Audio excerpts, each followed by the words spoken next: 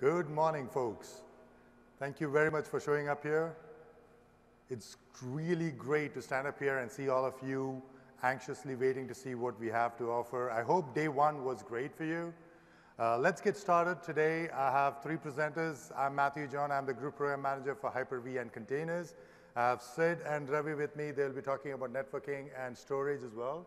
Um, getting started, today's agenda, we'll talk about software-defined uh, data center that includes compute, network, and storage. We'll also talk about the offers that we have from a hardware and software perspective. But before anything, I just want to say a big thank you to all of you. I was standing by the booths. I've been talking to a bunch of you. Uh, I saw a few of my friends walk in as well. It's great to see how you have used the products that we have built in the past, Windows Server 2012 R2 and earlier. Um, I know a bunch of you have been using Windows Server 2016 preview as well. There have been a million downloads and million installs of that, and we learned a lot from that. You have been very vocal with your feedback, and we have taken that and we have used that to keep improving our product. And as we keep looking beyond 2016, we consider those feedback and make sure that we keep improving it so that we build the best product that you guys need and, and can use. So thank you very much. Let me start the whole history with a very brief talk about how the evolution happened. Um, we are talking about virtualization. We shipped the first product in Windows Server 2008, 2008 R2. Um, we're just making the, the initial steps into virtualization, but very rapidly caught on, essentially um, simplifying the whole virtualization layer, making it just a commodity like anything else. But then the whole industry evolved from there. They called it dynamic data center, and after that, we started having the, the makings of the cloud, and here we are with Windows Server 2016, talking about what does it mean to have a virtualization platform that is building the next generation, the cloud. And so that's the evolution. It's all about cloud infrastructure, cloud applications, how do you bring the cloud on-prem, and so on. So that's, that's where we started off from. And when we started looking at Windows Server 2016 as part of the planning exercise, we were looking at what, what were the trends that were going on in the industry? What was changing?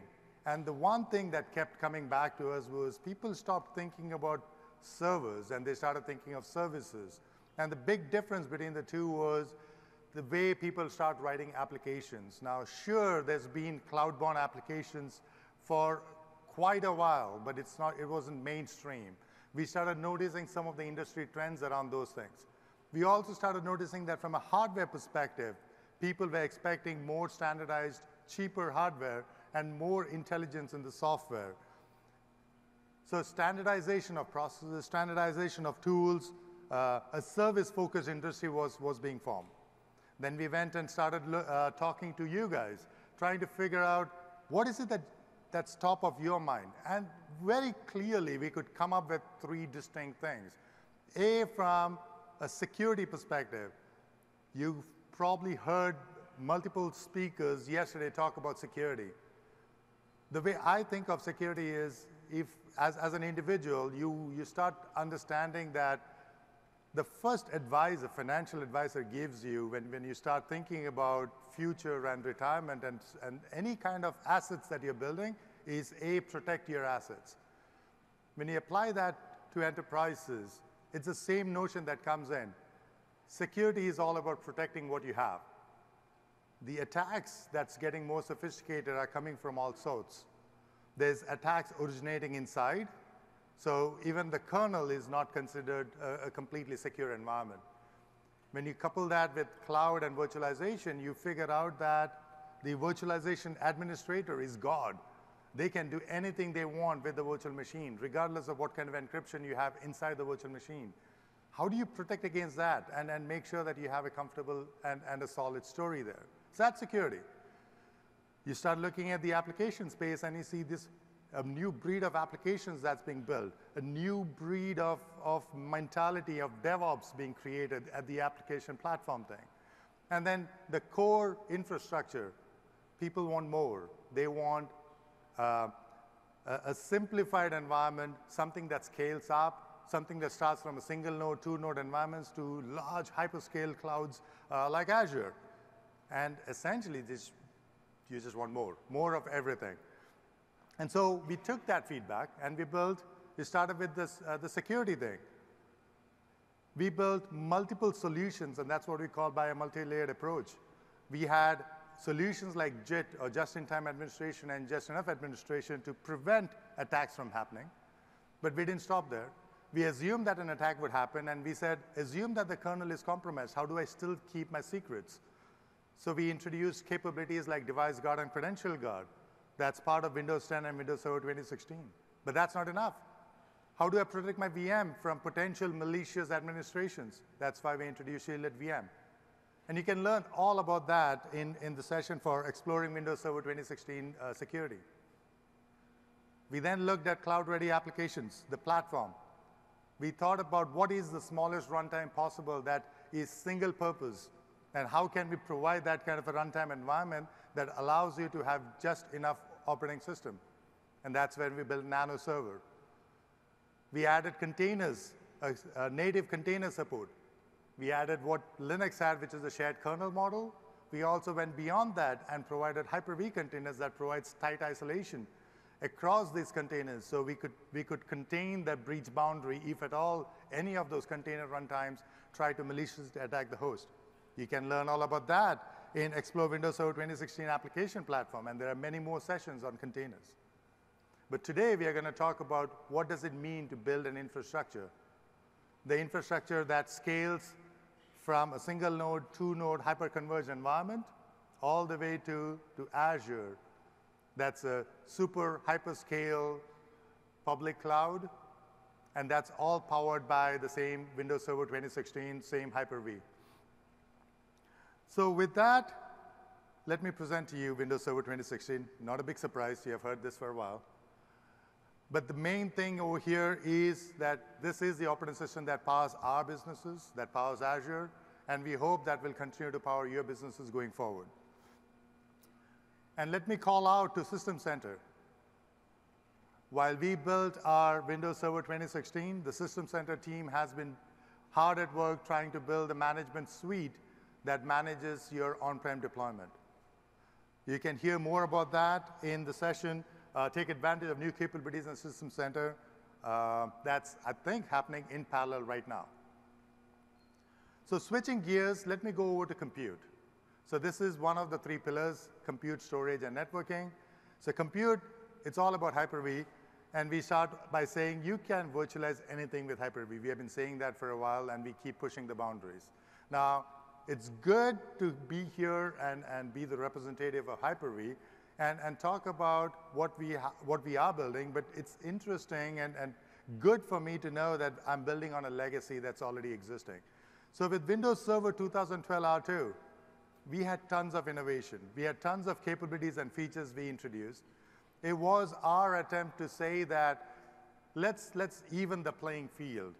Let's make sure that virtualization as a platform was no longer the place where we had to compete, where you as our customers do not have to walk around with a notepad trying to figure out feature parity or feature comparisons between different virtualization vendors. So in 2012 R2, we decided we will go beyond what was available at that time. And the things that's bolted out, like 64 VP uh, monster VMs, uh, one terabyte monster VMs, or the 64 terabyte VHDX, or the generation two virtual machine that we built ground up as a virtual machine, not as an emulator of hardware. So eh, all of these things at that time were innovative, but we never expected it to remain innovative for long. We expected our, our competition to catch up and, and ensure that you get the best benefit from having a diverse virtualization platform. So that's, that's what we started off from. And then we said, what else? What, what do customers need from a compute perspective? and they talked about, I want more performance. I want more reliability. From a reliability perspective, it's all about my hardware. I'm just going to use standard hardware, which means that the hardware can go down. Please ensure that your software can take care of, of this unreliable hardware. We talked about security, but that was a very clear ask from us.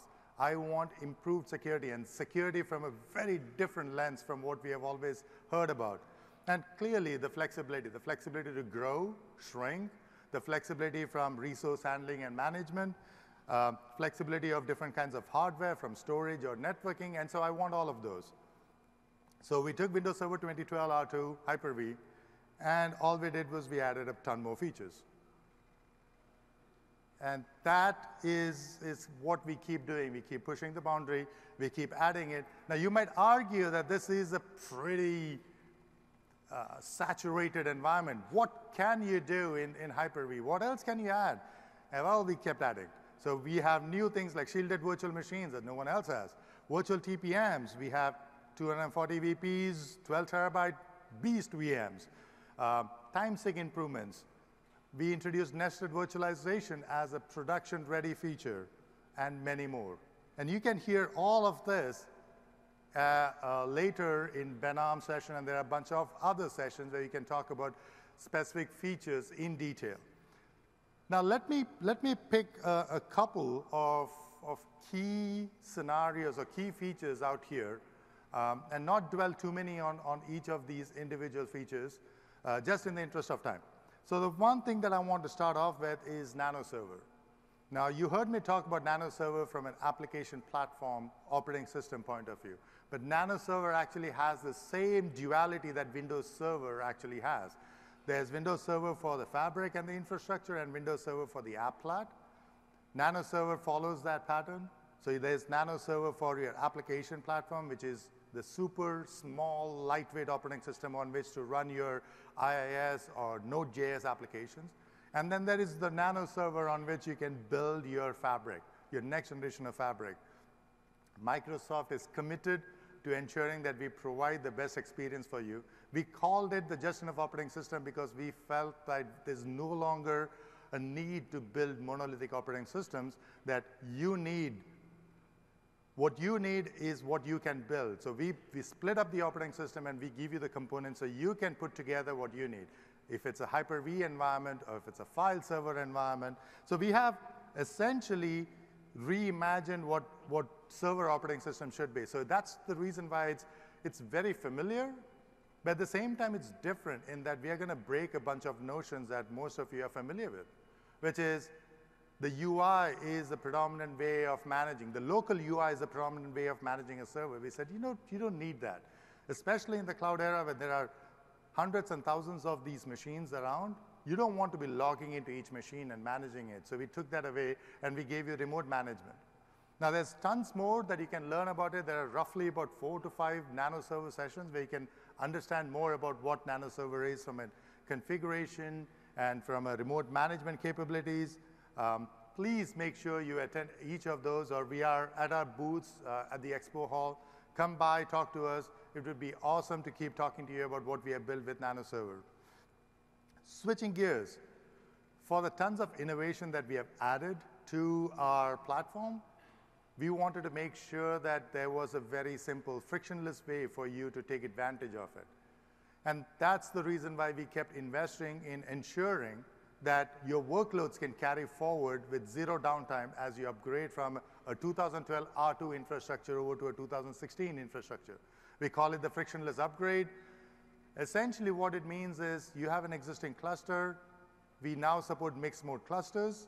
So you can start up your, you can initially start off with a 2012 cluster and individually upgrade your nodes to 2016. You can add both of those. You can live migrate the virtual machines back and forth, and you can upgrade all the machines in the cluster 2016, and then with a giant switch, just turn on the clustering capabilities of 2016 by saying now the cluster is ready for 2016. So step by step, you can move one VM at a time or your entire cluster over to 2016 with zero downtime to your workloads. Moving on, let me talk about the Hyper-V scale limits that we have announced, you heard this yesterday, we can support from a host perspective up to 24 terabytes on the physical server. That's 6x more than what we had with 2012 R2. We can have 512 logical processes for on your physical machine that's up from 320 that we had, and up to 12 terabytes and 128 virtual, 240 virtual processors, I take it back, in, inside my virtual machine. So let me show you something that no one has seen prior to today. A quick demo of this Beast VM. now, before I go in there, the Beast VM is actually not going to be a, a 240 virtual processor 12 terabyte VM. I could not get hold of one for this particular demo, but it has 128 procs, 5.5 terabytes, and it's running SQL Server. It's an HP ProLiant DL580 Gen 9 series machine. So with that, let's see. This is going to be a very short demo where the first screen that you're seeing there is my task manager inside my Beast VM. It has 128 processors. It's fully loaded. It's just running like crazy. That's because I am driving it. It has SQL Server installed on it. And there's my, on my left side, I'll show it to you in a sec, there's a client VM, a client machine that's driving an OLTP workload on it and maxing it out. There's a four terabyte in-memory database inside this virtual machine, and, and it's chugging along quite well. What you notice here is it has 5.5 gigabytes of RAM. Uh, oh, sorry, 5.5 terabytes of RAM and 128 VPs. And on my left side, and this is the, the amazing thing, what you see there in green, the 322K, 320 odd K, that's the number of transactions per second that it's driving. And that's at a, a latency of 20 milliseconds. No one has seen this before in a VM. Yeah, thank you.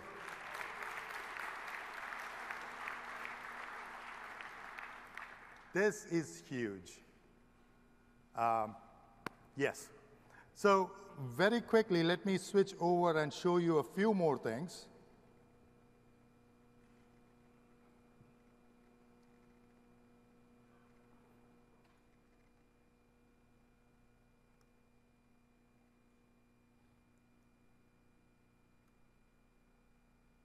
So I have another demo called the virtual machine start ordering. This is one of the capabilities that were added to, uh, to Windows Server 2016.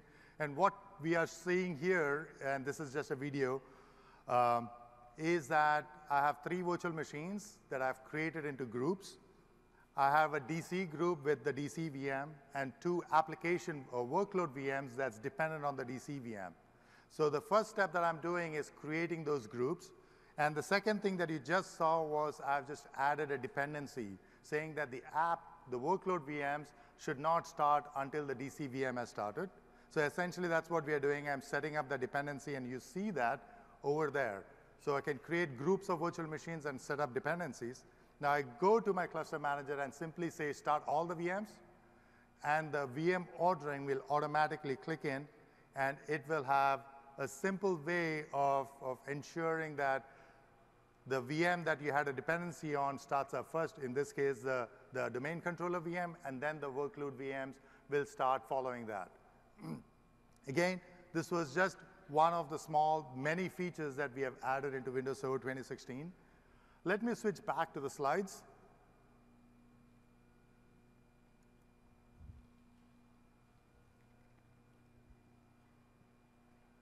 So wrapping up my compute section, I just want to call out what I started off with everything, which is when we talked about Windows Server 2016 from a compute perspective and talking to customers about what they want, they said they want more. They want more, more of many things. Performance, reliability, security, flexibility. And we believe we have de delivered that. We have delivered more of everything and even more of that. But having said that, we're definitely willing to listen to you we have been listening to you and we continue to listen to you in terms of what else can be done to keep moving the ball forward. What else can be done to ensure that you have the, the best environment you can build for your organization. So with that, let me hand off to Ravi. Thank you.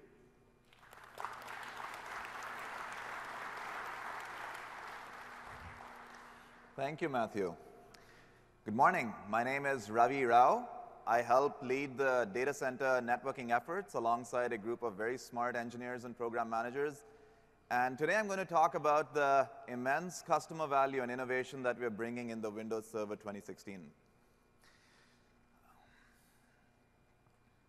So, data center networks have become pretty complex over the years, the physical networks. In our own Azure environment, we've gone through multiple generations of evolution of our physical networks. And what we've found is that application deployment in such environments takes time.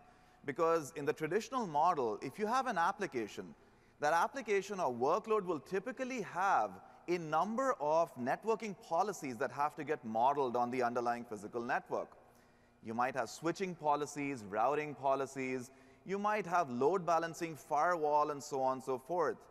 And the challenge when you're deploying the workload is the process of deploying onto this physical network requires change orders and trouble tickets, and it's fundamentally somewhat error prone and time consuming. And it's time that we just didn't have uh, in our own environments. When I talk with customers, I hear this quite a bit as well. I mean, customers frequently come and tell us that, you know, the CIO is holding me, IT, responsible for my developers not being happy because they're not able to onboard their applications as quickly. For the proliferation of shadow IT and a lack of DevOps in the environment, again, because things are too slow, and in general for the organization just not being as competitive as they'd like to be. So there is a strong need to increase agility, and networking tends to get in the way. The second problem is around security, that you want to be able to deploy your workloads in a secure manner, and if attacks, or rather when attacks occur, you want to be able to contain them from a network perspective, quarantine it from a, from a network perspective as quickly as possible so that these attacks don't get a chance to spread on the network itself and wreak havoc.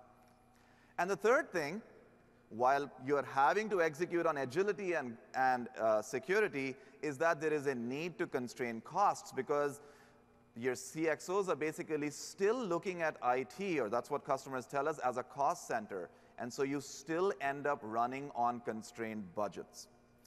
And so there is a need to increase agility, enhance security, and do all of this while keeping costs down as well. So we've been working over the release with many Windows Server customers on deployments, and here is what one of our uh, customers had to say, that they were able to bring up you know, they were able to bring up the SDN fabric and deploy applications fast while being able to drop down cost at the same time. And I hope all of you are able to start pilots and do deployments that let you reap these similar benefits as well. So the question is, how do we do it? So what we do in the Microsoft Azure environment is, is we build an SDN fabric on top of the existing physical network infrastructure layer. Okay, so this is a fabric layer that's on top of the existing physical infrastructure layer. And this fabric is one that you as IT have complete control over. So when an app or a workload comes in and says, I have a set of policies that have to get deployed onto the network, those policies now only have to get deployed on this fabric that is layered on top of the physical network as opposed to needing to get modeled on the physical network itself. Now, this fabric is entirely based on, is, is entirely on the hosts itself. So if you think about what all this fabric exposes, it exposes all the standard things you'd think of. You know, it has switching, it has routing, isolation, load balancing, firewalling, edge policies, so on and so forth. And all of this is modeled in software running on the same hosts that your compute VMs are running on. And what pushes the policy down is a network controller. So to take a concrete example, let's say you have you know, a tenant that wants to push down a policy saying, I only want to open port 80 on my web server VMs, right? There shouldn't be a need to open anything else. Well, what happens is the policy comes to the network controller, and the network controller now finds the hosts that actually have those particular VMs running and pushes the policy down to those, to those hosts so that policy enforcement can happen at the source. So you don't need policy enforcement moving into the network where it occurs. Right at the source where the policy has to get enforced, it gets enforced there, and the right things happen at that point.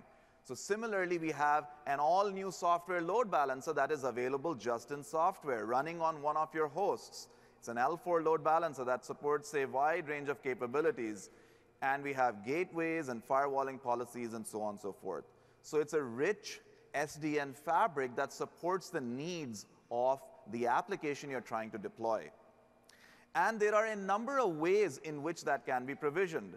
System Center Virtual Machine Manager can be used for effectively setting up the SDN fabric itself and then configuring any tenant policies that are necessary on top of that. Microsoft Azure Stack, that I'm sure you've heard of uh, in many talks by now, uses the network controller for provisioning, the, for provisioning such policies as well. We have PowerShell automation available and a REST API for the network controller as well, such that if you want, you can build your own RESTful apps for doing such configuration. So in short, if you're an IT admin, you will have complete control and automation capabilities on this SDN layer because it is insulated from the changes that are happening in the underlying physical layer.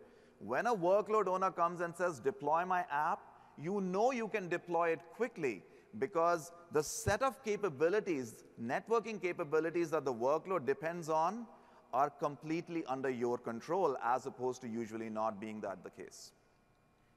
So this results in significant agility. But so if I look at it pictorially, a developer would typically come to you and say, well, here are my VMs, deploy them. I have a workload that has two web server VMs, two scale-out file servers, and you know, an Active Directory, for instance, that I might be using. And then they'll say, you know, yes, they need to be connected in some way, shape, or form. Now, the normal model would be you have to now work with various silos that might exist in your organization to get the policies deployed. But with the network controller based SDN model that we use in Azure, we can do, do this much more quickly. I can effectively create subnets associated with each tier. I can wrap all these subnets within a virtual network using VXLAN overlays so that you know, there is no ability for another application to peek into this particular application that I'm trying to deploy. I can deploy external connectivity for those VMs. So I can say that my web server should be able to go and speak to the internet because they have to go and get some information from there. I can deploy load balancing policies, not just external load balancing policies coming outside in. You know, a request comes into a load balancer, which then load balances across to the multiple VMs, but internal to the app as well. So if I have multiple tiers, as you see here, then I can have one tier use load balancing into the other tier as well. So within the app also. And finally, I can connect these all up and you're done. So it's much, much simpler for you to be able to do something like this in the model that we have. But it doesn't stop here because it's very nice that these web servers can all talk to each other and they can talk to the file server. But as a security architect, now you come in and say, well, that's, I don't want that. I do not want to allow all these ports open on my web servers. I have to constrain it. I have to restrict what is allowed and what isn't allowed. And so you can deploy now what we call network security groups. These exist in Azure today, and we are bringing them and making them available to you in Windows Server 2016. In the network security group, you can say something like, well, I'm only allowing port 80 in, which means RDP is blocked, file is blocked, every, all other port access is blocked automatically. Any new VM that's instantiated into that security group automatically inherits all this policy, automatically. It also means that if one web server were to get infected or compromised because let's say it was unpatched, it will have no ability to go over the network and attack the other web server, which means that your service does not go down. Okay, so one gets infected, it's compromised, might happen, no ability to travel over the network because the policy is not there. Say you want to change the policy. You want to now allow port 443 in as well Easy, change the network security group, all the VMs automatically inherit that policy. So it's very, very powerful for you to express what your security requirements are. Even better, you may have you know, your favorite virtual appliances. You may say that, you know, Active Directory that I have is the holder of all my secrets, and I really want to guard it with my favorite firewall appliance.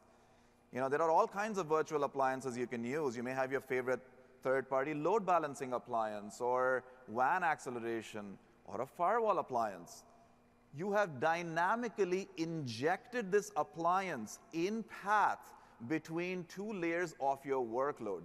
Imagine how hard this would be to do on a physical network.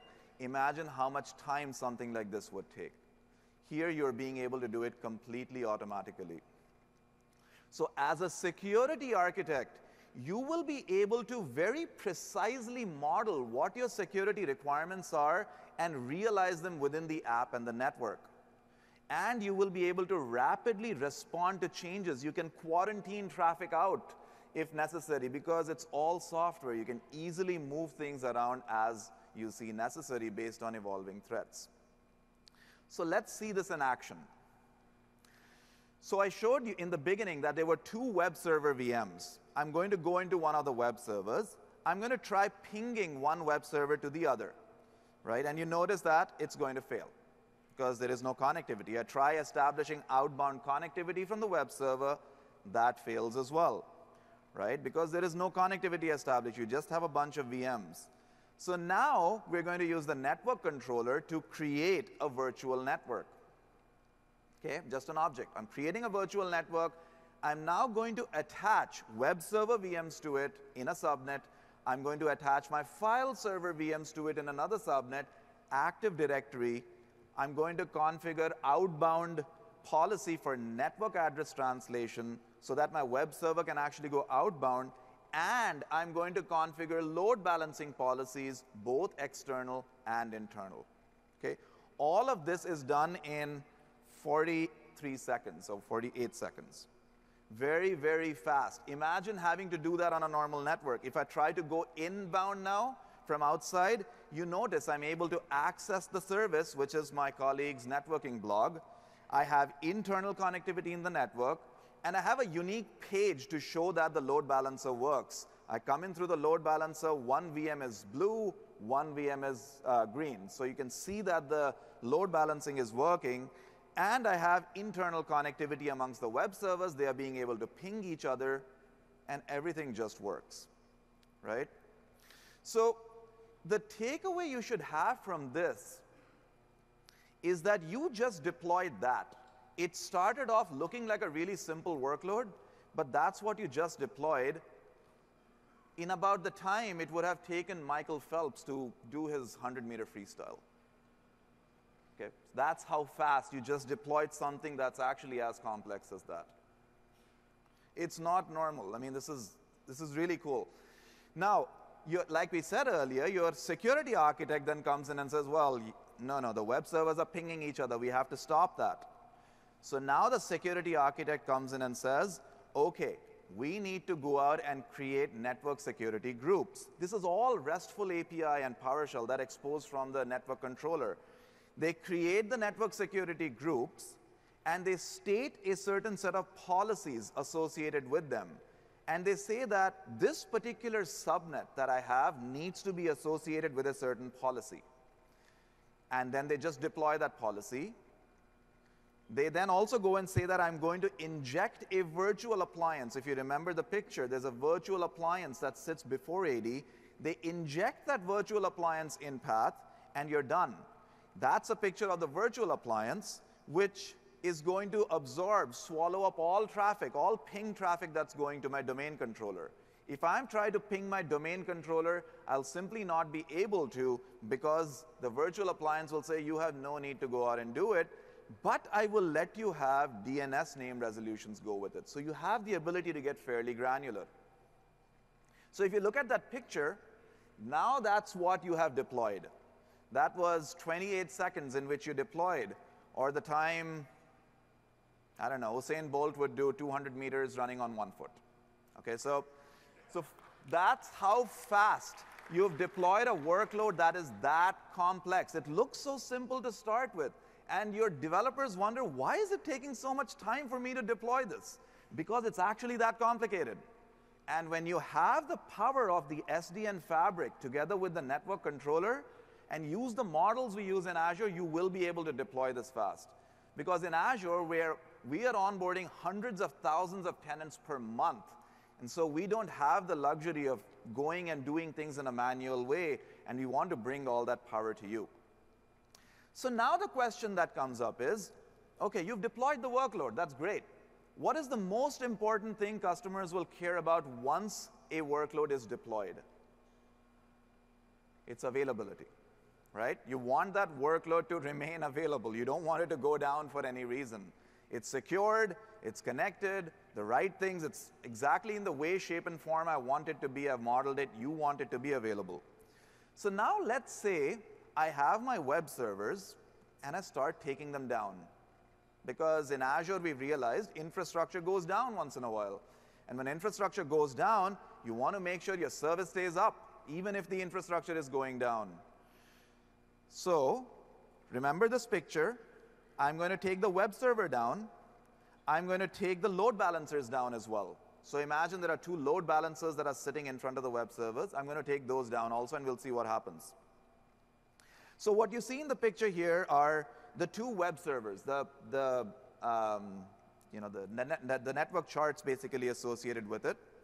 You, I'm going to uh, uh, open a page, and you'll see that it's flashing blue and green, basically saying it's going to one web server and the other. And the spikes that you see there represent probes. We are probing to make sure that the web server is available. Okay, so it just keeps checking.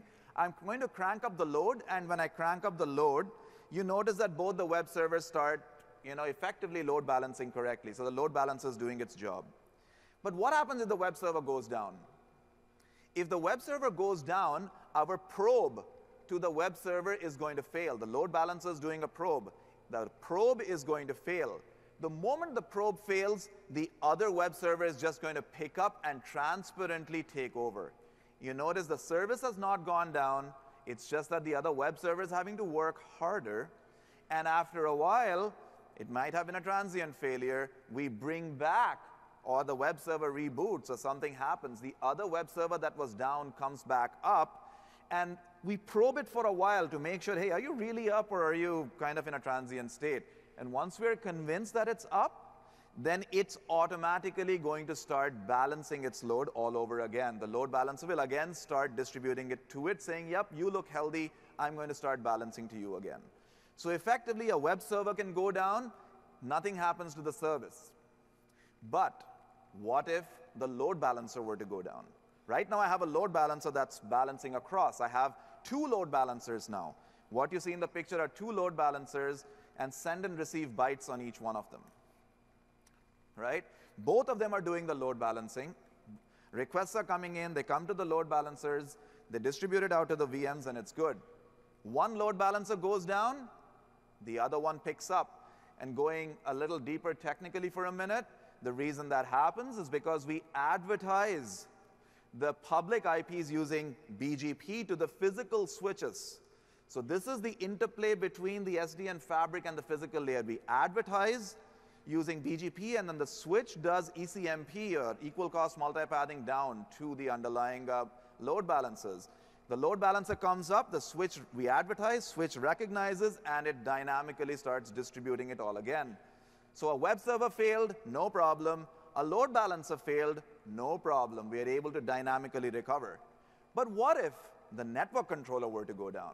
The brain of the network. The air traffic controller, the plane's going to keep, still keep flying. So now I'm just going to go and take down the network controller itself. And as you'd expect, my ping is, of course, going to start failing because the network controller is down. But you'll notice nothing else much has changed. The load balancers are doing what they're doing. My service is up. You can, in the background, see the green and the blue page, the, whatever, the web page basically there. So my service is still up, and nothing has really happened.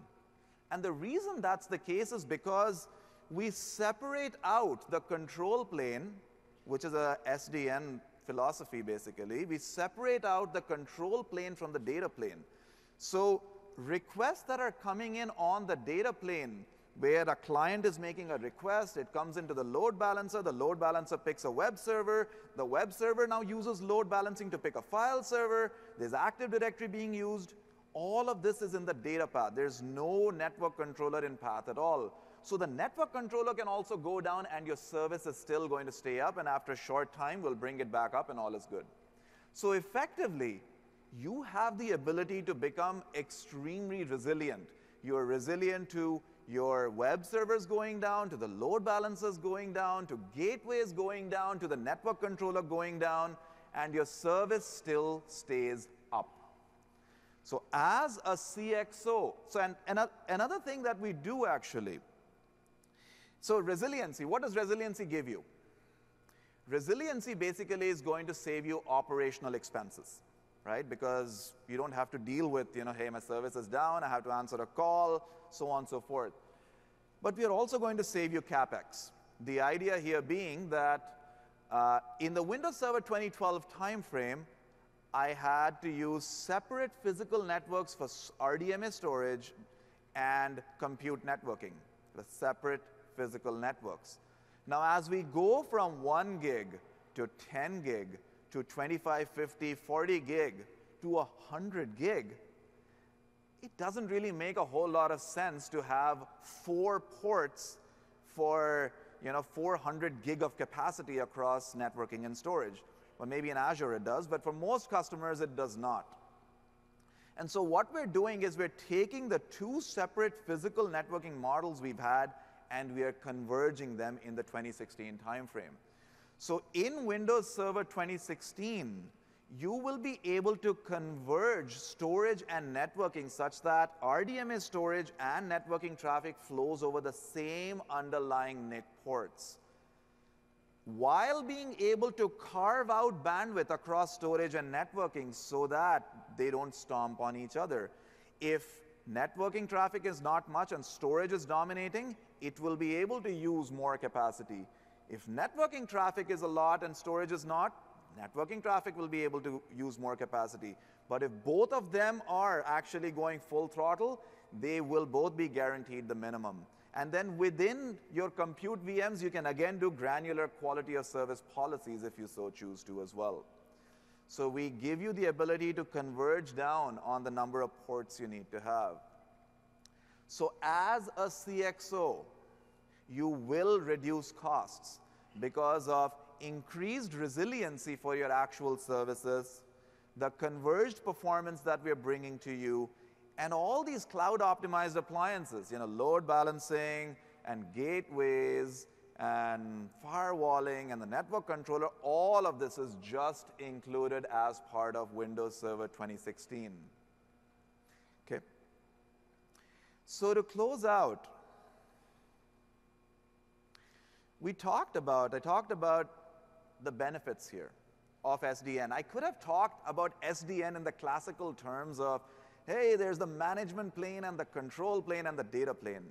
Forget about all that because it's just that that's interesting from a technical perspective, but the value it brings to you is what you should look at, which is you can deploy your workloads much, much faster. And there's a number of capabilities we have underneath the covers for that, which build out the SDN fabric layer.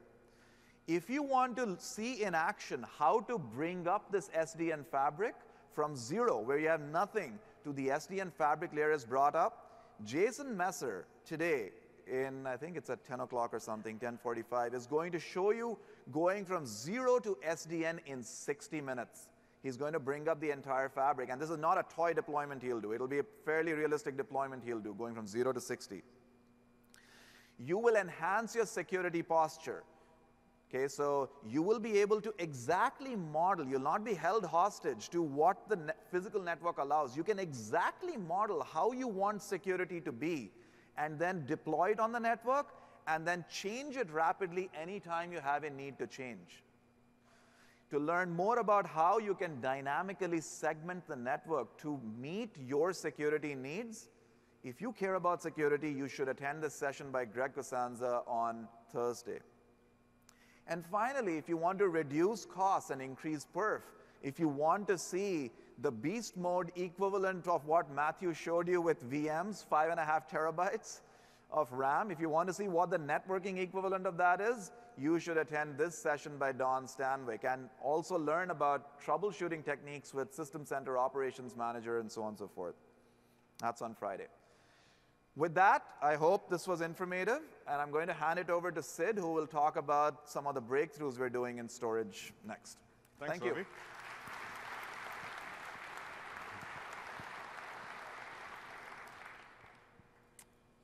Thank you. First of all, I think I'm, we are all extremely privileged to have you know 2,000 of our closest friends here, and we are really humbled you chose your time to attend this session. So hope you're liking it so far. So my name is Sid Roy, and I manage the high availability and storage teams at Microsoft. I work very closely with Matthew, Ravi, and a bunch of others, and kind of orchestrating, also understanding the SDDC strategy. So let's delve into storage a bit. So again, in the, in the same vein of what we heard from customers, just to give you a quick background, we started the journey on storage, software-defined storage, back in 2009, when we thought about, hey, how can we lower the cost of storage, right? And we heard about customers, you know, uh, that storage is not very flexible. Uh, it is not agile. I have to buy storage in monolithic chunks, okay? Even if I need a small capacity, I need to buy a complete new array. Uh, I don't have easy scale out. Okay, there is no way for me to add capacity on demand. So if my storage is running out of capacity, I need a pay-as-you-grow model, okay, uh, in a just-in-time world. And lastly, storage is very, very expensive. As we all know, in the data center, you know, storage is around 50% of the cost. So we focused on this, on these four or five fundamental problems and looked at storage. So before we go into software-defined storage, let's give a brief evolution how did we get here? Okay, circa 2009, okay, when we looked at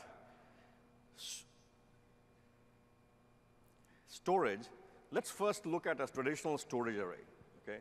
This is something SANs work great. You know, you have SANs and NAS in the environment. Just for the broader audience, what is basically a data center with SAN, okay? So you have your compute clusters, which is our good old Hyper-V clusters running virtual machines and that's connected through a fiber channel or iSCSI SAN network to a SAN array. Let's double click on that black box of the SAN array and see what's inside that array, okay? So that array typically has maybe two or more storage controllers, depending on the uh, mid-range or high-end SAN.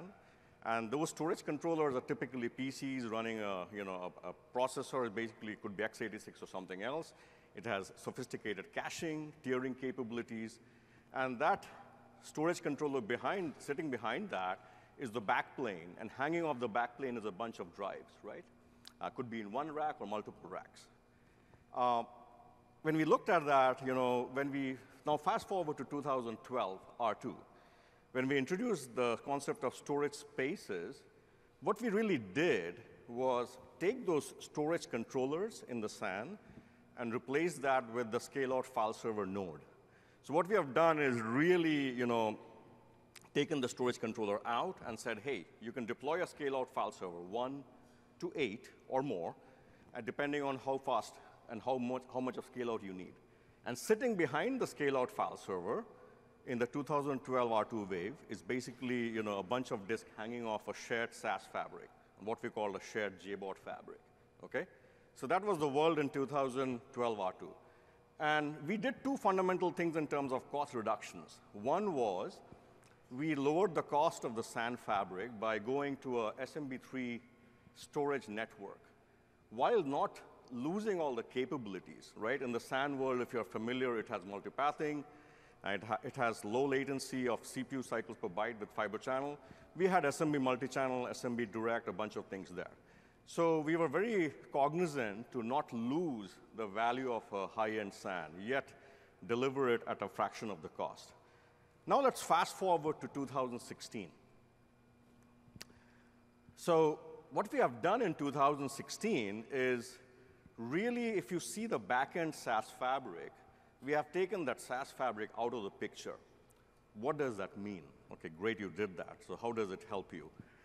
The SAS fabric, basically, SAS is limited in connectivity. It's kind of limited, you know, it goes to around four nodes. So what we have done is you don't need a shared SAS fabric in the backend. You can utilize the storage within the servers themselves, what we call shared nothing storage. So what you're seeing here is really a bunch of regular servers. We are utilizing the storage, pooling it together, and presenting it to the SMB3 storage network, which is presenting it in turn to the compute cluster. Okay? So very, very simple. And again, we have, by eliminating the SAS in the backend, we have reduced cost further. Now, that's not all. This is what we call the converged or disaggregated mode of deployment. That's not all. For some deployments, especially in the mid-market or smaller enterprises, why not collapse these two together, right? So what we have done is really gone one step further with this notion of what we call hyperconverged, where we basically collapse the compute layer and the storage layer together into the same machine. So your, so your machine is really hosting the VMs and hosting the capacity and the VHD behind the VMs, all in the same physical node. So the advantage of this hyperconverged architecture is it's obviously lower cost. You can lay out more nodes as you need more capacity, compute or storage. Okay? So with that, let's double click a little bit more. Uh, before we do that, just one quick shout out. Now, once you have these storage spaces direct clusters, you can deploy two of these in two parts of the world and use another feature we are going to introduce in 16 called storage replica, and you can do synchronous replication between the two. So all in all, what we have just shown you is you can basically deploy software-defined storage site A, software-defined storage site B, do low-cost DR, all with the software coming in the box inside Windows Server data center. So let's double click a little bit of hyperconverge, right? Hyperconverge is a big trend in the industry. Uh, a lot of our friends are doing it as well. So let's just give it a double click and see what's going on under the covers. So again, Storage Spaces Direct is the flagship feature of our SDS platform. What you're seeing here is, again, a recap on how you have two nodes, though, uh, three nodes basically here. These three nodes are combining the disks together you can carve out a CSV file system from them, one or more, and on that you are hosting VMs, all in three physical nodes, all together. And one of the things we have done is we have unlocked performance. This can take advantage of the latest media, like NVMEs, and we're going to go uh, further with storage class memory, which is going to be a paradigm shift. This has fault tolerance. It can tolerate failure of any node, and when you lay out the disks, we have something what we call chassis and rack fault tolerance and rack awareness. So when we place the data, we can tolerate chassis failures or complete rack failures, okay? So we have the intelligence behind the software to be able to do that. Efficiency is something we have done and improved a lot further with our high efficient erasure coding, something we collaborated with Microsoft Research on. So you get a lot of the benefits, and obviously the cost, as I said, is included in software-defined uh, data center. Claus Joergensen and Cosmos will be giving a talk on this. So if you're interested in Storage Spaces Direct, definitely recommend you attend that session. So with that, let me just do a quick demo under the covers and show you what this means, right? I'm going to show you things in PowerShell. But again, as Matthew mentioned at the beginning of the talk and Ravi emphasized, again, this is all manageable by System Center. Okay, I'm just showing you things under the hood so you get a sense of what's going on. And then let's have some fun. So let's begin with three industry standard servers. Okay. Now they have disks inside them. Each of these servers has some disks. There is no fancy cables between the servers, no shared SAS, no expensive InfiniBand. It's just regular good old Ethernet. Okay. Now let's see what's going on. So just basically showing you under the covers, what we are doing is we are, we are showing you what's inside each of the, one of those nodes. One of those nodes has four drives and two NVMe SSDs. Great. Now, let's cluster them together, okay? So what we are effectively doing now is making sure that we are creating a new cluster you can see the PowerShell commandlet there. And we're creating a new cluster called demo. And this is all happening. It's very simple, single commandlet. And then once you create the cluster, just to make sure I'm not lying about it, it gets cluster node, shows you three physical nodes in the cluster. It's all up and running. Okay? Once we have created the cluster, next thing is let's create a software-defined pool of storage.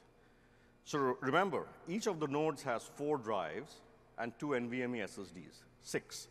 I'm going to take six of those devices in each node, the 18 devices, and combine them all together. So this is, I'm enabling storage spaces direct, okay? Once I do that, you can see under the covers what's going on. Basically, you know, it's setting the right resiliency level, be that parity or mirror, and then basically carving out the pool properly. It's doing everything underneath the covers. now, once I create that, you see it gets the storage pool. As I said, you get to see 18 devices underneath, okay? All goodness. Once I do this, I can now basically create volumes from those pools of storage. So let's do that. So I'm going to create five CSVFS volumes. So CSVFS, as you know, is our cluster-wide file system. And that's the, that's the distributed file system. Sitting underneath that is resilient file system, REFS, which gives you the resiliency, and along with Spaces Direct, it gives you the best-in-class uh, fault tolerance. And REFS and Spaces Direct, they're aware of each other. So I basically created five CSVFS volumes. Now, you could expose the volumes locally if you're hyperconverged, or you could expose the volumes remotely if you're disaggregated or converged through SMB, okay?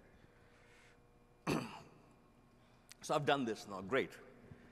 I have my three nodes working fine for quite a while. Six months down the road, I start running out of capacity. Okay? So at this time, I talked about, you know, in some situations, you would need to do a procurement, you know, get another storage device, figure out how to migrate stuff. You would need to do all that. Spaces Direct, this is, was something we really focused on. Scale out is really simple and easy. So let's take a quick look. So I have this fourth node. I have three nodes. I, have, I buy this fourth node. And now I'm going to basically add that to the cluster. So let's see what happens under the covers. I'm adding the cluster node.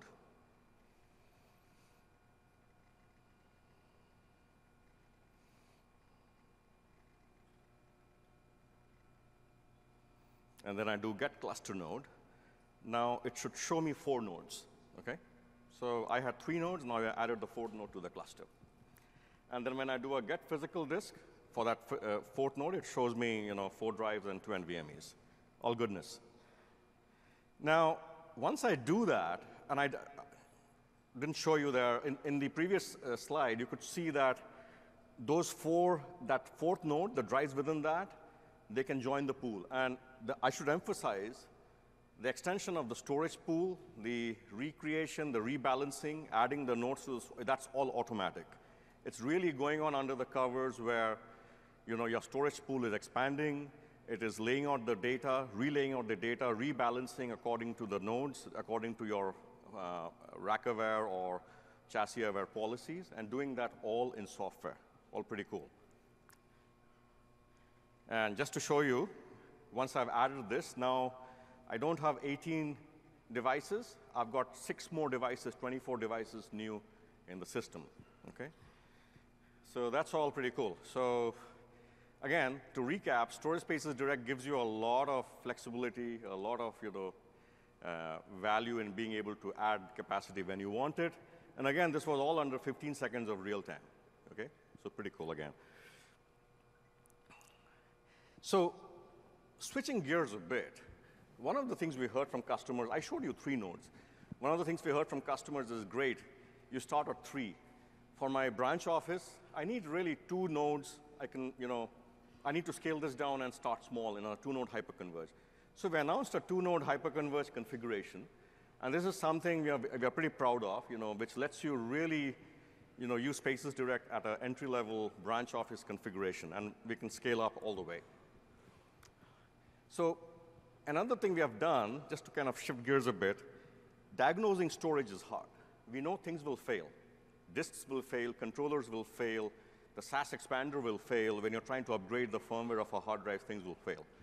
So we wanted to make sure we gave a solid health service that can be used by you very simply, where we are not aggregating and showing you 10,000 metrics, rather showing you the filtered data on really what's wrong and what's right, okay? So that you really get prescriptive action on root causing and can go and replace a drive in a very automated fashion, okay? This is something we learned a lot from our cloud platform system, which uses spaces, storage spaces, and we have incorporated this here. So what does it do, right? I'm not going to go into each. It monitors a bunch of things. It, it, it looks at your volume level stuff, at your element management of your drives. It does a bunch of things. And by the way, the, the health service can be uh, exposed in many ways. We have a SCOM MOM pack. It can be done in PowerShell, and it can be done by a RESTful interface as well. So I'm just showing you the MOM pack extensions of uh, a system called Nebula we use internally, where it shows the state of the system. So at any point, you know where exactly your storage system state is.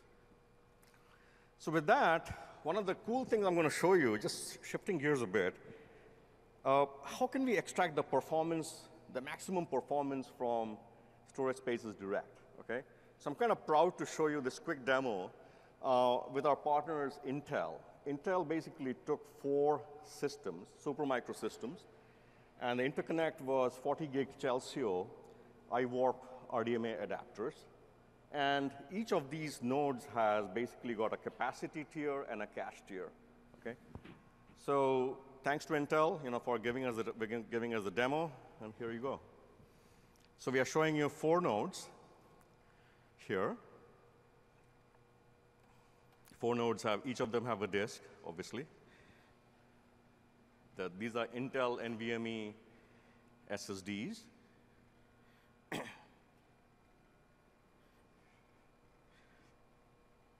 and then if you show we use a benchmark called disk speed.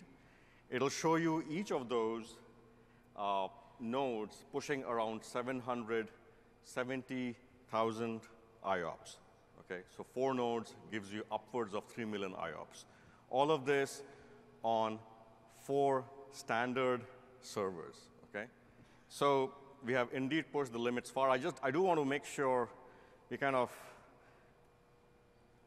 we feel proud about the performance. You know, we feel in the industry we have the, the best in class industry-leading performance. And that's not all. I think if you, some of you visited the demo yesterday in the keynote, we pushed upwards of around six, more than 6 million IOPS on a 16-node hyperconverged cluster. Okay. So I talked a bunch about hyperconverged. But you also have converged, which is our converged or disaggregated, where you can separate storage and compute.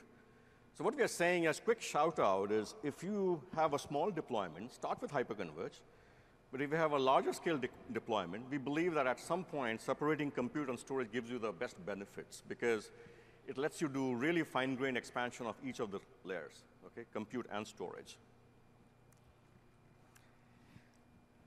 I talked about storage spaces direct. Let me do a quick shout out to another feature called storage replica. One of the things we heard from customers is, hey, I've, I spent a lot in replication. Give me something you know, that can work with any volume, not just spaces, but any SAN volume as well. Okay? So we did storage replica for DR.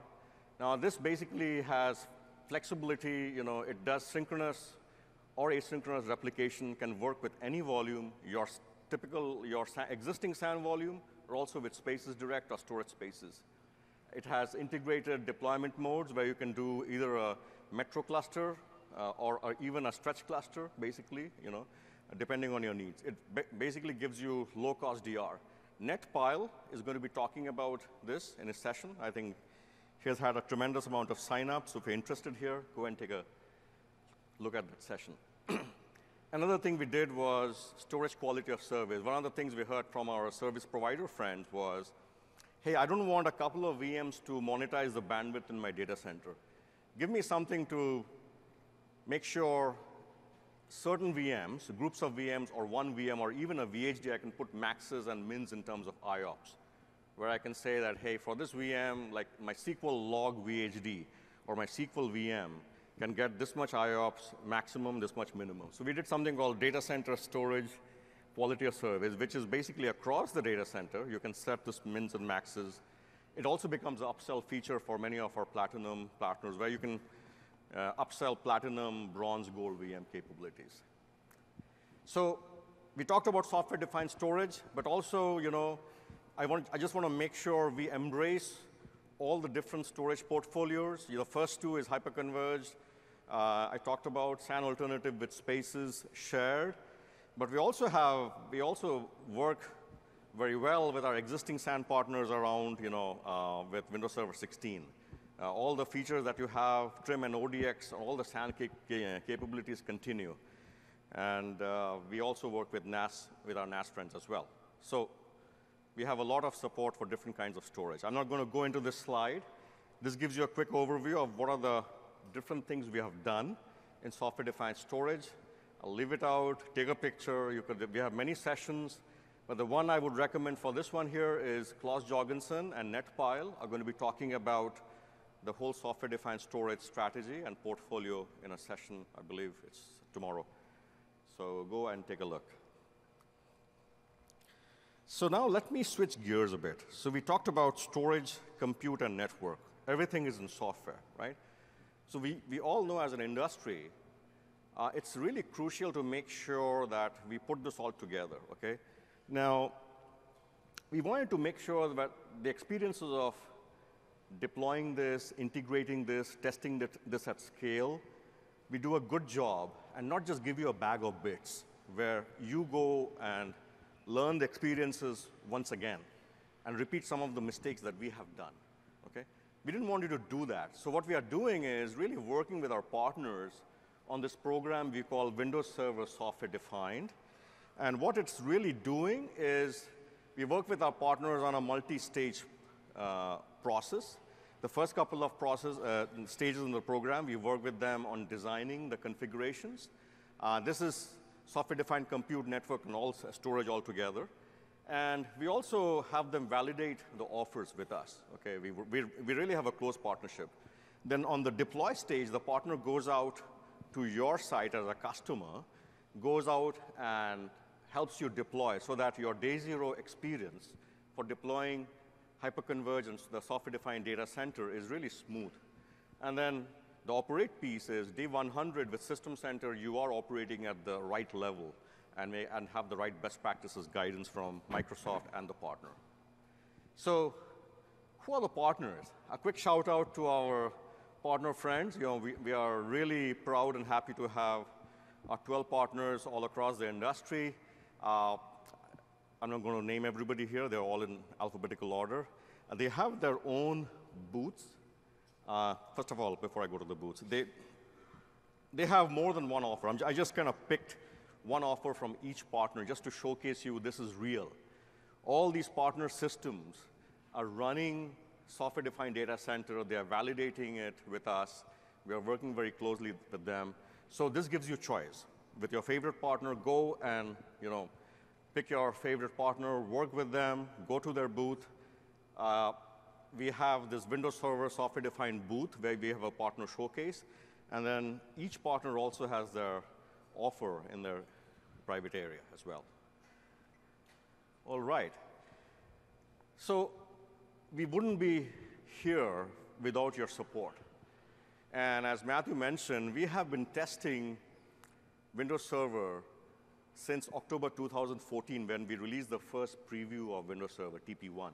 And then we have been giving TP2, TP3, TP4, TP5, and then now we are going GA. This is very different from the traditional earlier Windows Server operating systems where we have gone quiet for a long period of time and given you a whole lot suddenly and not having given you a chance for feedback. So here's some of our customers. Again, some, okay? There's a lot more customers who have worked with us. What are they saying about us, right? So shielded VMs. This is something we didn't talk about here today. Uh, I believe there's a session here from Dean Wells.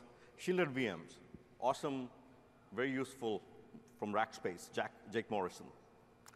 Ravi talked about SDN. SDN is a huge cost saver for some of our customers, right?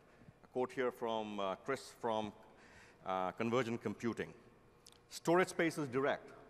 Also another big cost saver, okay? This was Rand we work with, you know, he looked at, you know, the storage in the enterprise and he, was really able to reduce cost substantially. Clustering.